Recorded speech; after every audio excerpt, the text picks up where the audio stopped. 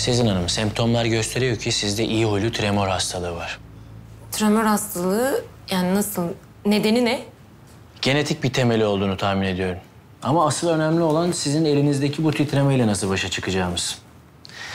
Bunun için DBS yapmayı planlıyorum. Derin beyin stimülasyonu. Yani beynin derin bölgelerindeki elektrik uyarımını görmek ve elinizdeki titremeyi engellemek için uyanık beyin ameliyatı.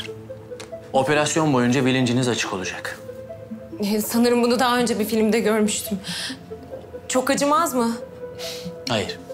Beyin acıyı hissedemez. Zaten biz kafatasının sert zarını açarken de narkoz altında olacaksınız. Peki ya elimdeki titremeyi yok edemezseniz? Bu da bir ihtimal. Bazı komplikasyonlar oluşabilir. Komada kalma, felç, beyin kanaması, kasılma, kalıcı ya da geçici sinir tahribatı. Bunlar oluşabilecek komplikasyonlar. Ama bunun yanında başarı oranımız yüzde doksan. Yüzde doksan mı? Oh, Bir an benim öleceğimi söyleyeceğinizi düşündüm.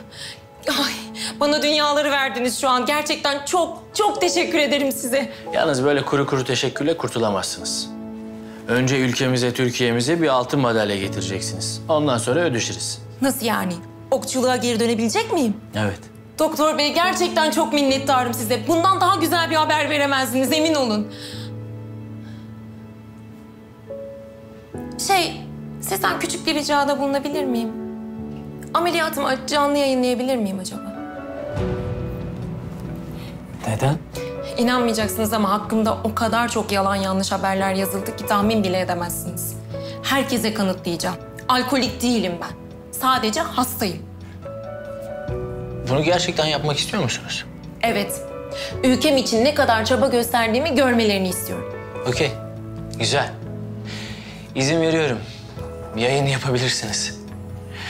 Bunu tüm Türkiye'ye gösterelim. Hatta tüm dünyaya.